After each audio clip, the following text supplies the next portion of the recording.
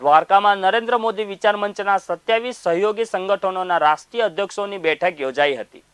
દ્વારકા ખાતે નરેન્દ્ર મોદી વિચાર મંચના દેશભરમાંથી આવેલા સત્યાવીસ સહયોગી સંગઠનોની મિશન ન્યૂ ઇન્ડિયા અંતર્ગત અખિલ ભારતીય સમન્વય બેઠકનું નરેન્દ્ર મોદી વિચાર મંચ દ્વારા દ્વારકા ખાતે આયોજન કરવામાં આવ્યું હતું.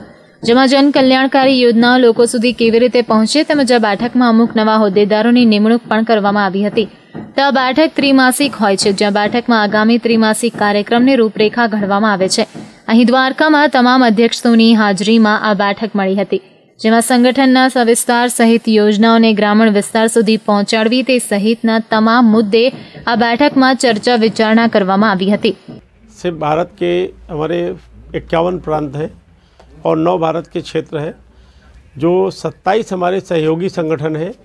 प्रत्येक सहयोगी संगठन के राष्ट्रीय अध्यक्षों की ये बैठक है, जो हमारी साल में चार बार होती है, प्रत्येक त्रैमासिक बैठक।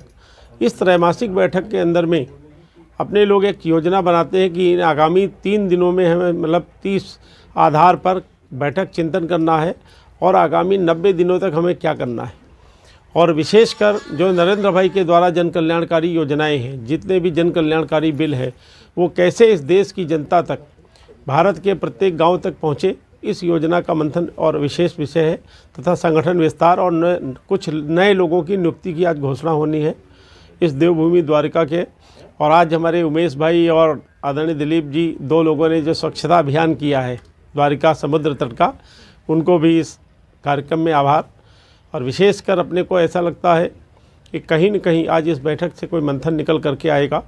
जितने भी जन कल्याणकारी आगामी जो दो और बिल आने वाले हैं, वो जनता को अपने लोग डोर टू डोर बताने वाले हैं। धर्मेंद्र उपाध्याय साथ लाइव गुजरात न्यूज़ द्वारका।